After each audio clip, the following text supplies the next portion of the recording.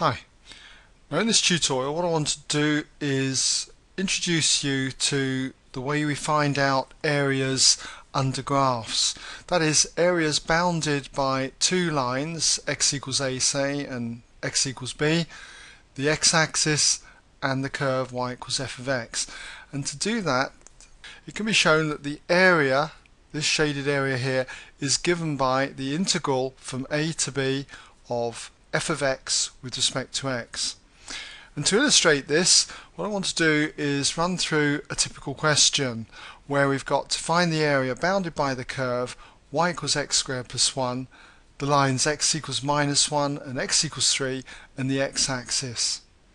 Now if you get a question like this, and a graph is not drawn, what I would always suggest is a sketch can often bring out the question. Alright, so let's just start by drawing a sketch. So we need uh, our y-axis, we'll have that as our y-axis, and x-axis, and we've got the curve y equals x squared plus 1. If it was y equals x squared, it'd be a parabola going through the origin, but we're adding 1 to that, so it's a parabola that is going to go through one on the y-axis coming up like this okay?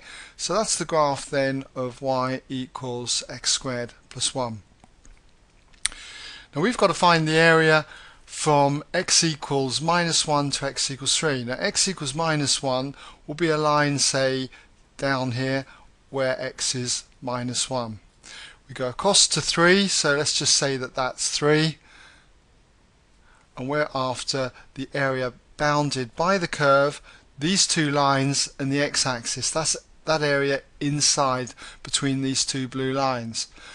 Let's just uh, shade that, okay, so uh, we can see it. Let's just do that and that, okay. So we've got our area. Now, to work out that area then, let's just put it here, the area is going to equal, according to the formula, the integral of our curve, which is x squared plus 1, x squared plus 1. We've got a couple of terms here, so we need to put that in brackets. We integrate that with respect to x, and the limits go from minus 1 to 3, so from minus 1 to 3. And in the usual way, when we get something like this, we integrate each term. So if we integrate the first term x squared, add 1 to the power and divide by the new power and for the constant plus 1 that's just going to be 1x or just simply x. And we put this in square brackets with the limits going from minus 1 to 3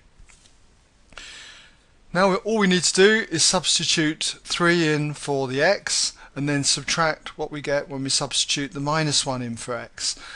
So if we do that we've got 3 cubed all divided by 3 plus another 3.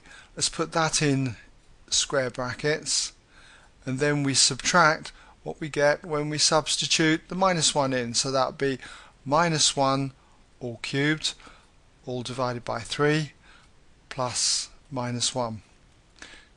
And we'll finish that square bracket off there. Working out the first bracket, we've got 27 divided by 3, so that's going to be 9. 9 and 3 is 12 and then we've got minus and then this is minus a third minus another one so that's minus four thirds. So we've got 12 minus minus four thirds 12 plus four thirds and that comes out as 40 over 3 now we're dealing with an area here so I feel it's a good idea to put down square units there just to indicate that you're working out an area Okay, well that brings us to the end of this particular video on finding an area bounded by a curve and the x-axis and a couple of lines here. But in other tutorials what I'm going to show you is how we cope with areas when the area is below the x-axis. We have to treat it in a slightly different way so hopefully you'll look at uh, that video.